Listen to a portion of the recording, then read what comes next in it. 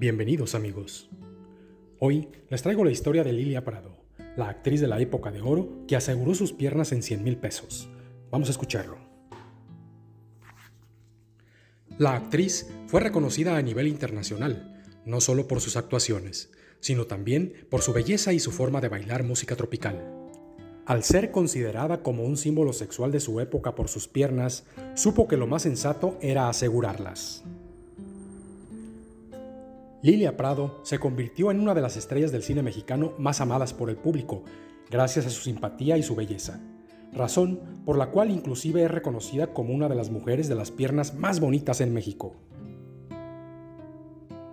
Desde muy joven, a Lilia Prado le llamó la atención el mundo artístico. Uno de sus primeros sueños fue escaparse de su casa y convertirse en artista de circo, junto a su prima.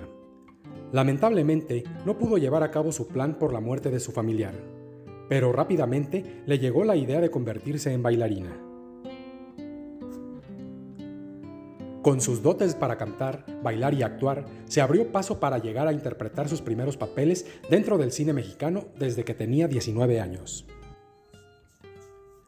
Fue en el año de 1952 cuando llegó a ser una de las actrices más populares a nivel internacional con Su vida al cielo, película de Luis Buñuel, esta cinta ganó el premio de la crítica a la mejor película de vanguardia del Festival de Cannes, entre otras decenas de galardones, algo que permitió que los ojos de todo el mundo se vieran cautivados por Prado. A partir de esta cinta es que comenzó a ser reconocida como todo un símbolo sexual.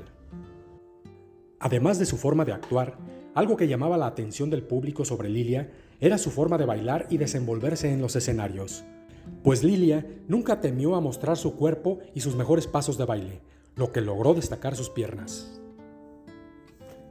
Fueron decenas de sesiones fotográficas que le hicieron.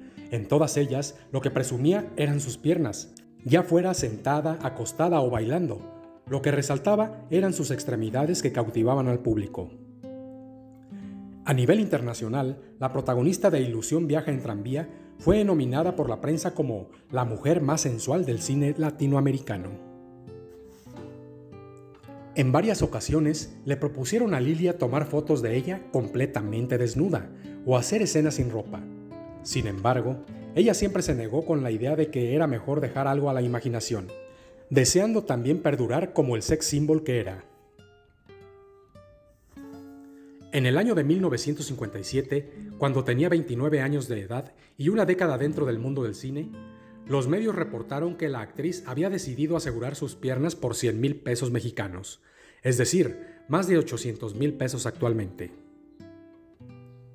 Supuestamente, Prado aseguró sus piernas a inicios de 1957 con un pago inicial de 4 mil dólares, lo que sería actualmente alrededor de 600 mil pesos mexicanos. Su plan fue el pagar las pólizas con 20 años de diferencia, pues estaba consciente de que sus piernas no se mantendrían siempre en la misma figura de sus mejores años. La actriz ganó diversos galardones como el premio de la mejor actriz extranjera en el año de 1971, en el Festival Internacional del Cine de Panamá.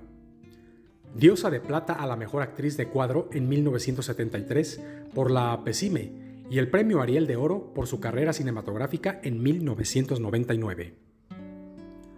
Sus últimas películas fueron Tres veces mojado, de 1989, y Desafiando a la muerte, Agentes Federales, 1990.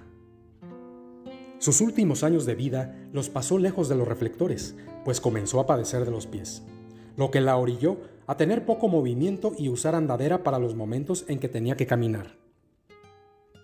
Y ya por último, amigos, Lilia siempre deseó lograr recuperar completamente su salud para regresar así a trabajar, pues no quería que el público se quedara con la imagen de una actriz enferma. No obstante, amigos, en el año del 2006 falleció sin hijos ni pareja, a causa de una enfermedad renal, que se complicó por una falla pulmonar y le causó un infarto. Y bien amigos, con esta historia llegamos al final de nuestra emisión. Esperando haya sido completamente de tu agrado y lo hayas disfrutado tanto como yo. Nos vemos en el siguiente video. Gracias.